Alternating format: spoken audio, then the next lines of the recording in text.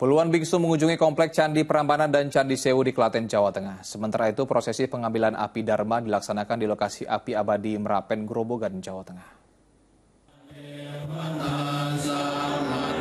Sebelum pengambilan api Dharma, umat Buddha dari berbagai sangha berdoa di depan patung Buddha atau puja bakti pensakralan. Ada enam sangha atau komunitas yang berdoa secara bergantian. Mereka lalu melakukan prosesi pengambilan api Dharma. Para perwakilan sangha memutari lokasi api abadi Merapen dan mengambil api menggunakan obor. Selanjutnya obor disulutkan ke tungku yang telah disiapkan di mobil pickup, lalu dibawa menuju Candi Mendut untuk disemayamkan.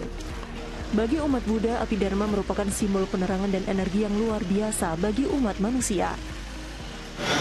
Dan kemudian juga akan dijadikan sarana puja yang merupakan simbol penerangan dan energi yang luar biasa bagi umat manusia, memancarkan cahaya gemelapan dan menghapus keadaan suram menjadi terang.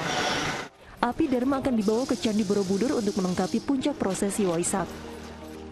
Sementara itu puluhan biksu tudong mengunjungi kompleks Candi Prambanan dan Candi Sewu di Klaten, Jawa Tengah. Rombongan berjumlah 40 orang, terdiri dari biksu dengan para guru dan kepala vihara. Kunjungan tersebut dilakukan untuk mengenalkan budaya Indonesia dan peninggalan Hindu serta Buddha.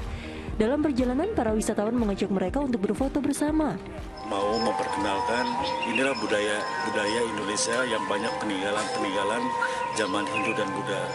Jadi saya minta satu hari ini emang kita free, uh, tidak ada tidak mau ngikut kegiatan apa pun. Rombongan lalu menuju ke Magelang, Jawa Tengah. Tim Liputan melaporkan.